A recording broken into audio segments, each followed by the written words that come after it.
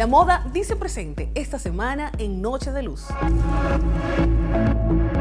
Cuando estuve caminando en el malecón, Luis me ve caminando, él me ve de espalda y pensó que yo era alguien que él conocía. De, chiquita tú no soñabas ser modelo, ¿o sí? Llegué y fue mi primera vez montarme en un avión. No la ponga, eh, no tiene personalidad.